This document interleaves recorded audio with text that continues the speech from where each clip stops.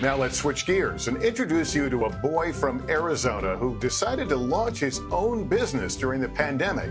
And it's really taking off. Nicholas and Nadine, welcome to DBL. All right, mom, first things first, you have three boys under the age of seven.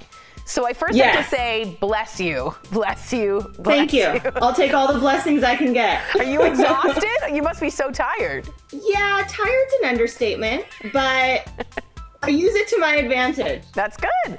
Well, one of your advantages is this kid, Nicholas. Tell us how Nicholas's love of planes turned into an actual business. Can I let him answer yeah, that? tell us, Nicholas. Go for it. My mom told me to start a business during the coronavirus. One day, my mom brought out this huge box of crafts, and I made one plane, and then my baby brother took it away from me. and then I made one for him. Then the light bulb came on. I said, hey, my business should be selling craft planes. and kits. So this, can you show us that? So this is one of those craft planes, is that right? Yes. Wow. Show what it does. It, you see the booster on the back, it goes new. Whoa, vroom, that's amazing. Now, And they also have these wheels on it. Look, go vroom, vroom, vroom, vroom. vroom, vroom, And vroom. also this special clip holder, what can hold anything, even any picture with something flat.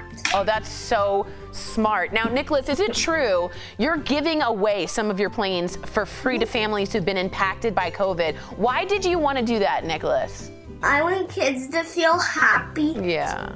Because they're bored during the coronavirus. I want kids to imagine that they're traveling to wherever they want with my craft planes. Vroom, vroom. That sounds amazing. Uh, Nicholas, what do you think is next for your business? Do you have any new business ideas?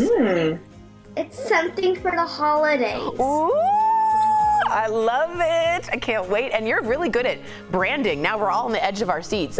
Nadine, I know you guys recently added a donate button to your website, and I We hear did. you're actually getting some amazing stories out of it. Can you tell us about that?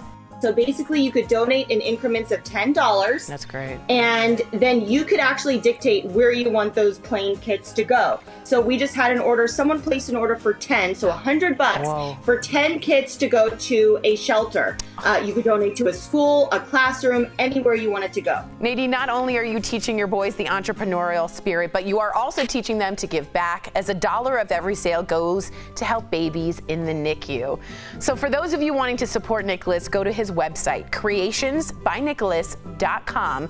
Nicholas and Nadine, thank you so much for joining DBL. Can you give me a vroom with your plane all the way to the camera? You did. Vroom. That's right. We'll be right back. Vroom. Thanks, guys.